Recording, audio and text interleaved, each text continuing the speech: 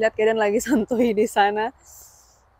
Menikmati matahari yang sebentar lagi tenggelam. Buenísimo. ¿eh? Banyak banget. Encima guys. están grandes, ¿eh, mamá? Si dan gemuk gemuk grandes, gendui gendui. Gemas banget. Tadi itu dia, suamiku laporan, mama apa ada delima banyak di pohon. Oh my god, aku nggak percaya dan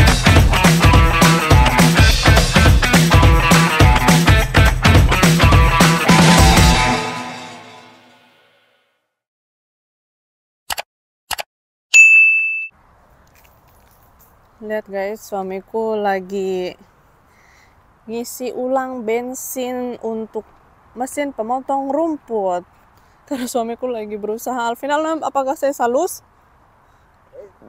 Lalus. Mira a ver si está encendido, ¿no? No. Bueno, mira a ver, porque igual sí, ¿eh? Mira a ver los interruptores, que no está el parque de uno ni el otro. Ini dia.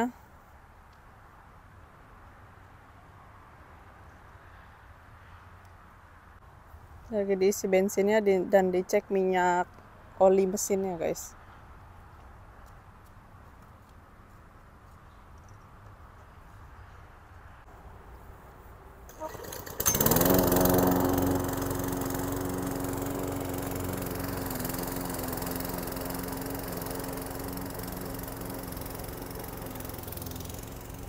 Halo sayang, baru bangun tidur siang, pulang sekolah, makan siang, tidur siang.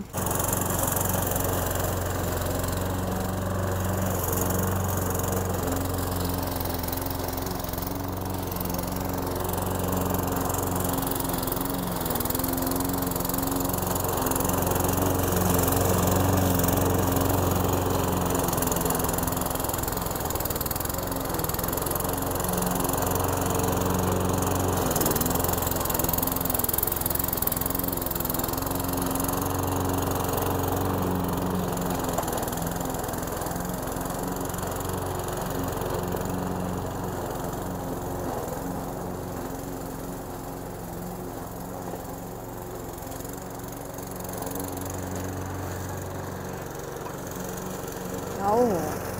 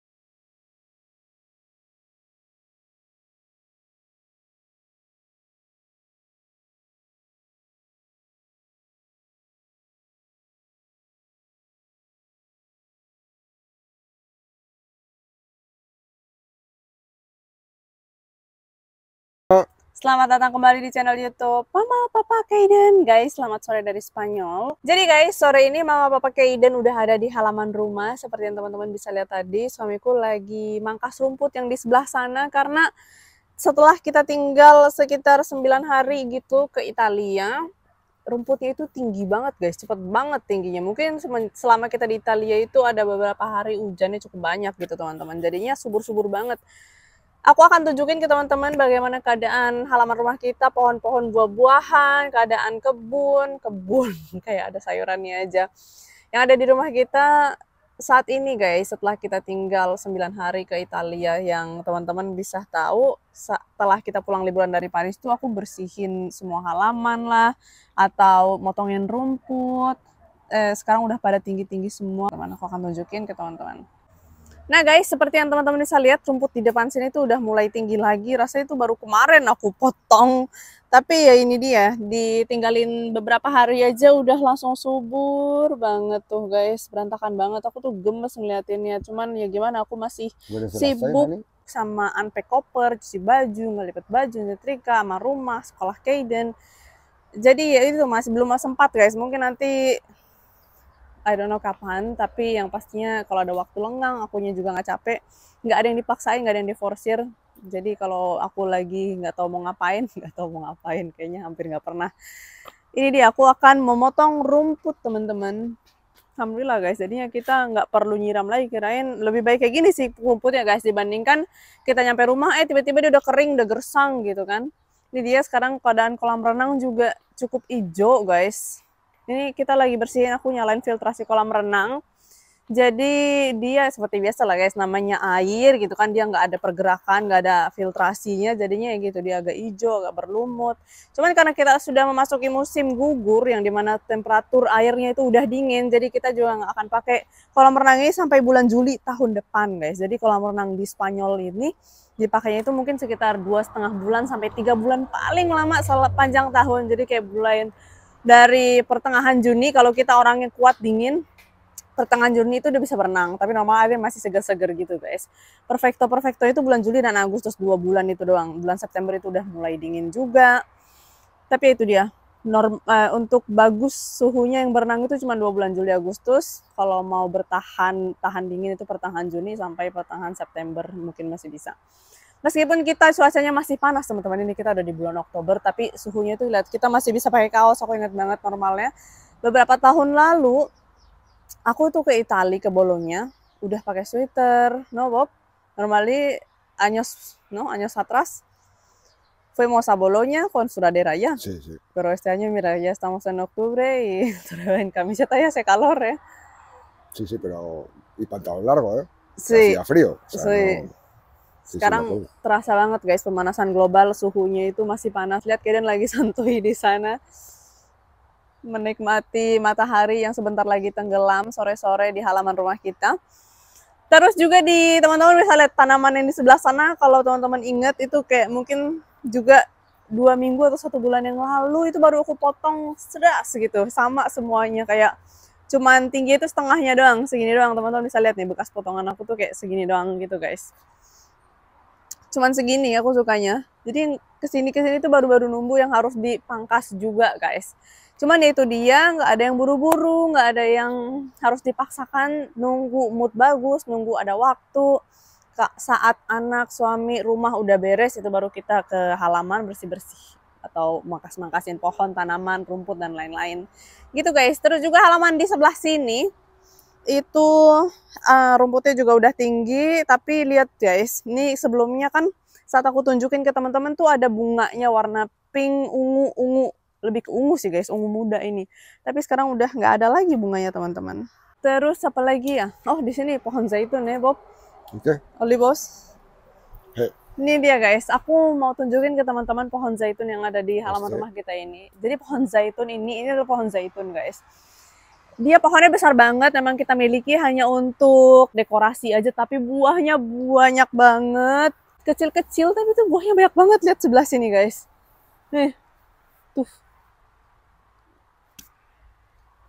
Todos lados, ¿eh? Hei, dari semua sisi. Banyak banget teman-teman. Lihat tuh ke belakang-belakang. So what? We'll take on notice. Karena nanti kan bulan November kita bakalan panen zaitun nih teman-teman untuk dijadikan minyak. Kita akan bawa ke tempat penggilingan minyak dan kita akan jadikan minyak zaitun yang normal sih kita dapat 15 liter guys. Cuman ada knowledge sih tahun ini sih kayaknya bisa lebih cuman ya nggak tahu guys. Dia gendut-gendut tahun ini dan banyak buahnya.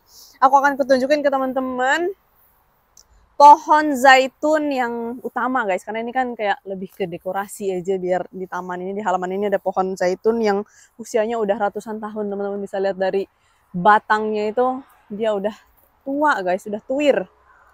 Nih. Lihat guys. Dia udah kayak menjadi fosil gitu teman-teman. Batang pohonnya. Nah ini dia guys. Besar banget. Ini juga harus di hay que Sí, ¿eh? un poco no hay que cómo se llama? Eh, sí. Está Pero hay que montar andamio y yo qué sé. ya. Bueno, aunque este podría subir por ahí, ¿eh? ya. Dia tiene ramas Eh. gordas. Ini dia halaman ini juga rumputnya cukup tinggi yang sudah harus dicukur lagi teman-teman. Tuh. Cuman rumput ini tuh nggak yang setinggi yang rumput di halaman depan sana sih guys. Masih kayak oke lah gitu bercanda oke guys kita akan lanjut menuju ke bagian selanjutnya dari halaman kita. Tama. ¿Qué pasa, bebé? ¿Eh? ¿Estás cansado? ¿Eh? ¿Estás disfrutando? ¿Sí? ¿Dónde vas?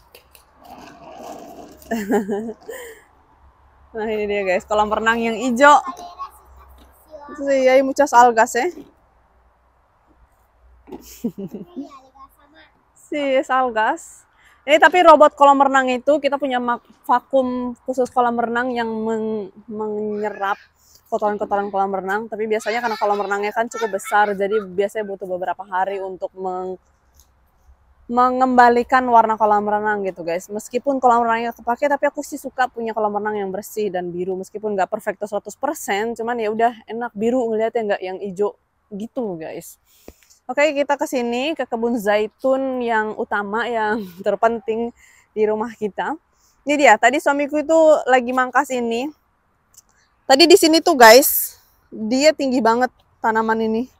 Ini semuanya semuanya tuh tinggi banget nih. Teman-teman, ini udah dipangkas.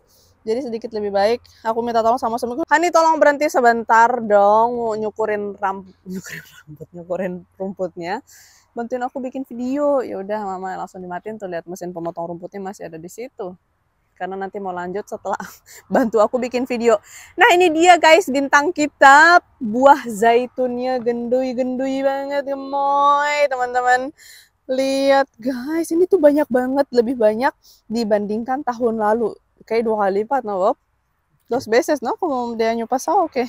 Sí, más o menos sí. El doble seguro. ya banyak banget guys buahnya lihat teman-teman ¿eh? Hmm, banyak banget Encima están grandes, ¿eh, mamá? si dan gemuk-gemuk gendui-gendui gemas banget nggak nggak sabar nunggu bulan depan kayaknya semoga aja nih bulan depan bisa dipanen guys karena setiap pohon zaitun pun beda-beda ada yang bisa dipanen bulan bulan November atau bulan Desember gitu tergantung pohonnya Amazing, ¿eh? Este casi tiene más, mamá. Iya. Jadi di sini kita punya banyak pohon zaitun satu baris ini, terus sampai satu baris sana juga itu pohon zaitun semua teman-teman. Sebelah sana itu pohon zaitun semua. Tuh buah-buahnya. Dan ke semua pohonnya itu banyak banget guys buahnya. Estos tres, mamá, tienen un montón, ¿eh? Ya. Pero ¿por qué? eh? ¿Por qué siempre en este lado siempre que tiene más? Pues no lo sé, mamá. No tengo ni idea. Nah, lihat teman-teman. Banyak banget Pero zaitun mira por aquí, ¿eh? Tuh guys. Hmm, jadi normalnya zaitun ini nggak bisa yang kita makan, kita petik terus langsung kita makan gitu guys. Karena dia rasanya sangat-sangat menjijikan. Mamaku pas waktu panen sama Uniara hmm, 4 tahun yang lalu, itu penasaran banget sama rasa zaitun. Dipetik lah, dicuci, dan langsung dimakan. Langsung dilepehin teman-teman, karena emang rasanya sangatlah buruk. Jadi normalnya, zaitun ini kalau nggak kalau normalnya kita bikin itu kayak eh, apa ya bahasa Indonesianya? Mungkin kayak acar gitu kali ya guys atau asinan, I don't know atau kayak I don't know. Jadi dia kayak harus difermentasi dulu berhari-hari, berminggu-minggu baru nanti dia agak rasanya itu lebih baik. Biasanya normalnya direndam pakai air, air garam gitu. Terus kadang kita masukin eh, daun-daunan aromatik gitu gitu guys ada juga kadang yang pakai bunga-bunga yang ada wangi-wanginya mansania itu apa ya kalau bahasa Inggrisnya? Jadi dia pakai aromatik aromatik gitu biar menambah rasanya yang lebih enak gitu guys. Karena kan manfaat zaitun ini banyak banget jadi bagaimana kita bisa menikmati zaitun semaksimal mungkin pastinya orang di sini berpikir keras diapain nih zaitunnya biar rasanya itu lebih enak lebih bisa dikonsumsi sama orang-orang. Karena zaitun ini kan kaya dengan manfaatnya. Apalagi Spanyol adalah penghasil minyak zaitun penghasil zaitun terbesar di dunia teman-teman. Jadi udah nggak tahu deh udah beberapa tahun terakhir. Dan meskipun udah banyak juga di pohon masih banyak juga di pohonnya tapi udah ada beberapa yang jatuh nih guys. Lihat sayang banget tapi ya gimana guys tidak bisa kita simpan karena nanti dia nggak bagus kualitas minyaknya gitu teman-teman. Jadi normalnya biasanya uh, minyak-minyaknya itu kita tidak jual guys karena kan 15 liter dapatnya teman-teman. Kita eh, dan kita hanya ambil di perasan pertama yang benar-benar eh, perasan bagian terbaik dari zaitun itu jadi kita konsumsi dalam satu tahun itu biasanya cukup banget teman-teman. Ini kita masih ada satu jerigen lagi yang isi 5 liter dari hasil panen tahun lalu itu masih ada dari hasil kebun kita. Sedangkan bulan depan kita udah mau panen lagi teman-teman. Jadi ya itu dia guys. Tapi sayangnya kemarin tuh aku nggak bisa bawa ke Indonesia karena uh, jadi kan jerigen-jerigennya itu apa ya kayak fragile gitu loh teman-teman. Gampang kayak nggak terlalu apa ya kuat gitu jadi gen 5 liternya itu. Jadi kalau dimasukin koper perjalanan jauh dengan transit ganti pesawat dan lain-lain takutnya nanti bledos. Terus koper penuh minyak dan airport penuh minyak kan gak lucu guys. Pesawat penuh minyak. Jadi akhirnya aku beli minyak zaitun yang extra virgin olive oil di supermarket untuk dibawain bawa untuk bawain ke mamaku karena kan packaging kalau dari perusahaan besar itu kan dia nutupnya itu lebih mantap lebih secure lebih safety. Jadi ya mau gimana lagi guys? No faceless itu nah soalnya yang gitu teman-teman. Ini dia masih pohon zaitun dengan buahnya yang banyak. Terus tadi tuh suamiku lagi jalan-jalan Biasanya itu Carlos, hmm. Suamiku tuh lagi jalan-jalan keliling halaman melihat-lihat di sini, Bapak. Hmm. Tuh. Guys, banyak banget. Ini sebelah sini. Gemes banget aku lihatnya guys. Jadi suamiku tuh lagi jalan-jalan ke ujung sana, memantau keliling-keliling halaman rumah. Terus suamiku menemukan, mama laporan. Ada banyak banget delima di rumah kita. Jadi ini adalah pohon lemon langganan Mama Kaiden yang biasanya suka panen-panen. Di sini untuk kasih ke Elena dan Juan untuk pasokan eh, lemon-lemon uh, di restoran mereka. Jadi lemonnya itu udah habis guys. Sebenarnya nggak habis-habis 100% sih teman-teman. Masih ada sedikit banget. Mungkin uh, untuk stok persediaan di rumah kita karena untuk kasih ke restoran ini sangat-sangatlah sedikit teman-teman. Oh, Kayaknya nggak nyampe. Nah? Sih, nggak nyampe setengah plastik guys. Tapi lihat dia sudah mulai berbunga, bunganya itu banyak banget dan wangi banget teman-teman. Mungkin teman-teman belum tahu gimana wanginya bunga lemon. Jadi itu bunga lemon itu kayak 90% mirip banget wanginya kayak bunga melati. Jadi kalau teman-teman mungkin lewat pohon lemon malam-malam terus kayak aduh kok wangi melati, jangan jangan takut guys karena ini memang wangi banget. Bunganya itu wangi banget, wangi melati. Pertama kali aku tuh nggak tahu, jadi kata aku ini wangi apa sih gitu ini bunga-bunga yang belum belum mekar teman-teman. Juga banyak. Terus juga nih lihat lemon-lemon yang hijau yang siap dipanen beberapa bulan lagi. Nih di sini lihat. Tuh. Tuh guys. Dan dia udah ada yang hijau udah berbunga. Jadi itu dia guys. Aku sangat-sangat bersyukur dan amazed dan luar takjub gitu ya dengan pohon ini. Karena dia sangat apa ya nggak berhenti teman-teman. Lemonnya kalau teman-teman ikutin vlog Mama Kaiden dari tahun lalu atau mungkin dari dua tahun lalu pasti tahu banget kalau lemon ini tuh nggak pernah habis. Jadi buah yang tahun kemarin belum habis sudah berbuah lagi udah berbunga lagi.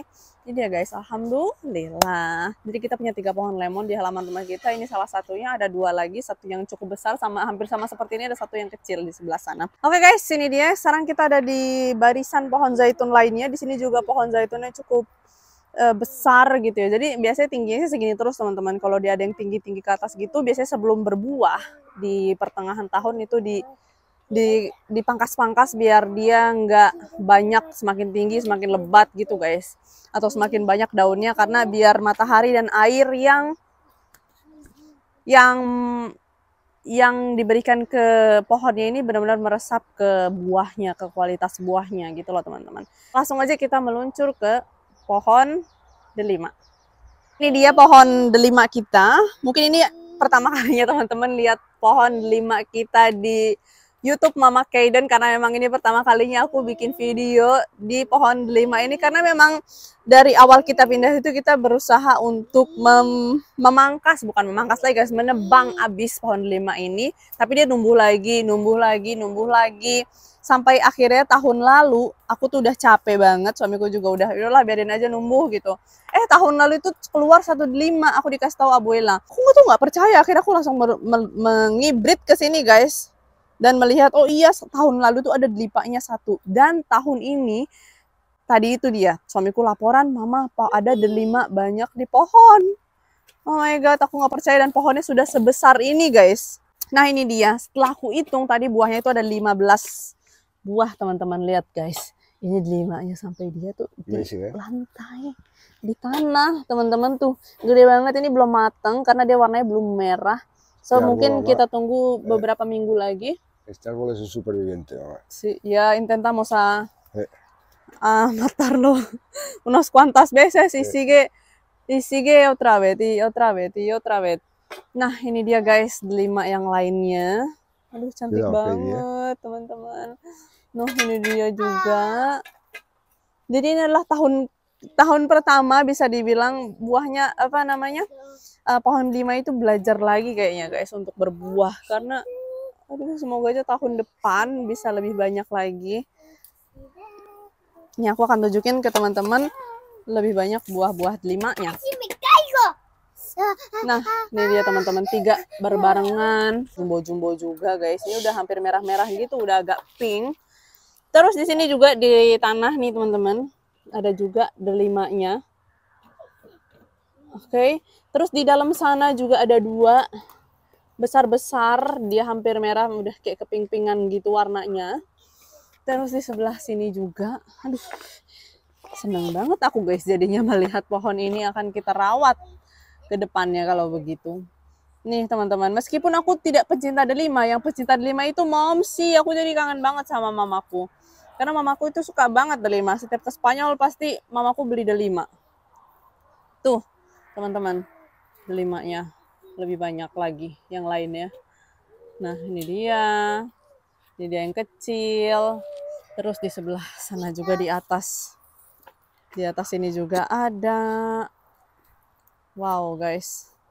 Benar-benar kayak unbelievable gitu loh. Aku nggak percaya kalau pohon ini benar-benar sangat bertahan hidup meskipun sudah berkali-kali kita berusaha untuk menghancurkannya, untuk menghilangkannya, melenyapkannya dari bumi ini, tapi dia tetap berusaha, berusaha dan berusaha lagi dan lagi, guys. Sampai akhirnya ini dia.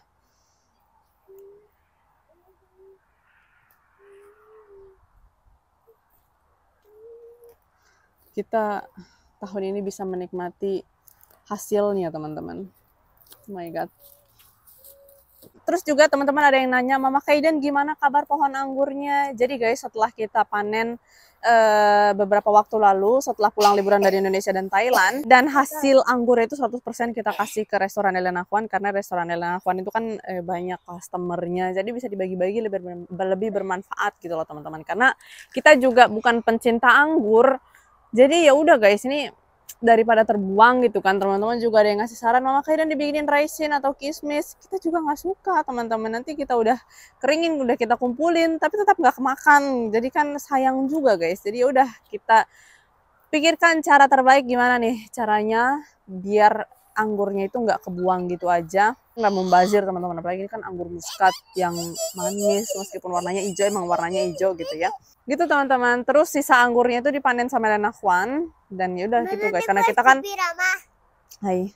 Karena kita kan berpergian ke Italia, liburan ke Prancis, jadi kita nggak ada waktu teman-teman untuk panen lagi. Ya udah akhirnya mereka kan punya mereka kan punya pan, punya kunci rumah kita, jadi ya udah mereka datang panen dan bagi-bagi ke ke customer-customer, ke tamu-tamu yang datang makan ke restoran mereka. Itu aja update kebun halaman rumah kita setelah ditinggal beberapa hari yang udah kayak hutan belantara karena rumput-rumputnya pohonnya itu udah pada tinggi. Jadi eh, suamiku ini dia sedang berusaha memperbaiki, merapikannya. Eh, mungkin besok atau lusa saat aku ada waktu lebih aku akan turun tangan juga untuk rumput-rumput atau tanaman-tanaman yang di samping kolam renang tadi. Itu aja teman-teman, terima kasih udah ikutin vlog Mama Papa Kay dan hari ini mengenai halaman rumah kita perkebunan. aku tuh ingin banget guys bercocok tanam. Kalau teman-teman ikutin vlog Mama Kay dan awal-awal ngevlog tuh aku punya tanaman di sini tempat bercocok tanam. Cuman karena aku udah mendapatkan serangan dari kelinci-kelinci liar jadi ya udahlah aku udah udah merawat tanaman sayuran-sayuran itu 2 3 4 bulan. Eh beberapa waktu sebelum panen dimakan sama kelinci itu sebel banget guys karena kita sudah mendedikasikan waktu, biaya, dan tenaga untuk eh, tanaman-tanaman tapi akhirnya kita tidak bisa menikmati hasilnya. Itu pedih guys. Sebal. Jadi ya udah akhirnya uh, aku urungkan untuk sementara uh, apa ya aktivitas. Kita berhentikan sementara aktivitas bercocok tanam. Mungkin di waktu ke depannya kita bisa lakukan lagi punya tanaman yang lebih banyak atau sayuran-sayuran yang lebih banyak buah-buahan tapi I don't know let's see sedikit-sedikit kali ya teman-teman dan kita juga akan cari cara bagaimanakah kita bisa punya halaman, kita bisa punya tempat bercocok tanam yang bebas hama gitu guys. Karena kelinci-kelinci di sini adalah hama guys. Atau di sini juga banyak hamanya itu karakol. Berarti karakol? Kicot, siput. Itu itu juga yang bikin tanaman jerukku mati dan pohon peach, pohon buah persik itu kita punya. Terus dimakanin di di penuh dia sama sama bekicot sama siput itu teman-teman. Mati lah dia. Jadi udahlah kita tinggalkan lagi pohon-pohonan pohon buah-buahan itu.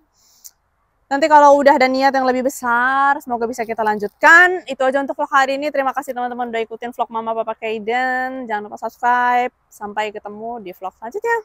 Adios